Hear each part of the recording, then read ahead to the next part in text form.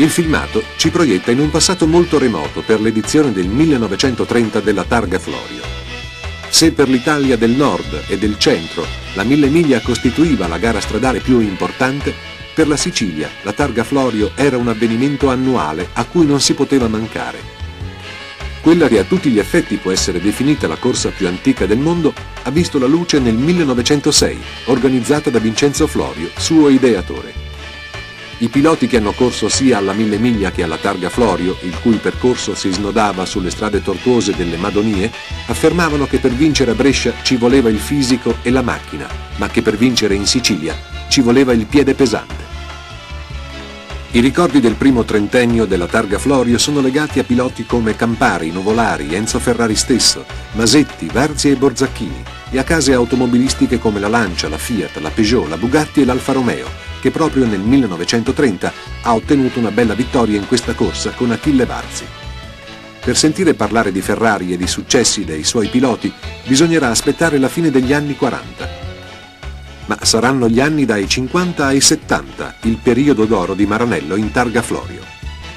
Il manifesto ufficiale della corsa siciliana ci fa capire che siamo nel 1963, un anno che regalerà un'importante vittoria in Targa Florio al cavallino rampante dal 1951 il circuito stradale su cui si svolge la Targa Florio è stato ben definito con i suoi 72 km di lunghezza, le sue 900 curve e i numerosi attraversamenti dei piccoli paesi dell'entroterra, dove le insidie si chiamavano animali ed esseri umani, soprattutto bambini, che potendo uscire all'improvviso dalle case costituivano un serio pericolo.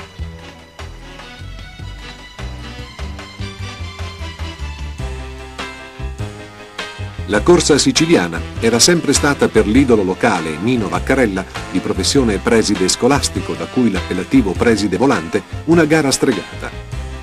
Più volte si era piazzato fra i primi senza mai vincere. Nel 65 alla Targa Florio, entrata dieci anni prima tra le gare titolate per il Mondiale Costruttori Sport, la Ferrari ha schierato due prototipi 275 P2 3003 per Scarfiotti e per la coppia Bandini-Vaccarella.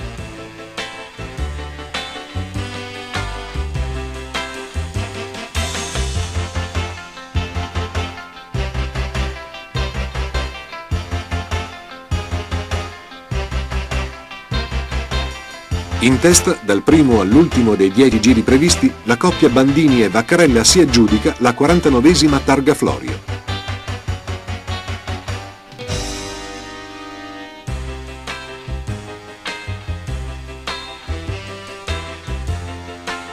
Una folla assiepata sulle colline e valutabile in 250.000 persone ha gioito dunque per Vaccarella al primo successo nella classicissima di casa, che avrebbe vinto in altre due occasioni.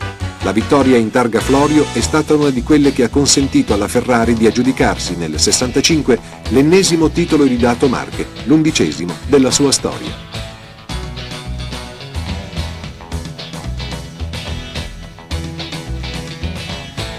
La coppia Vaccarella-Bandini ha sconfitto lo squadrone Porsche, un rivale storico della Ferrari in Targa Florio e nel Mondiale Marche di quegli anni ma è giunto il momento di chiudere il capitolo di questa corsa che si è disputata fino al 1977. Lo facciamo con l'ultima vittoria della Ferrari in Sicilia.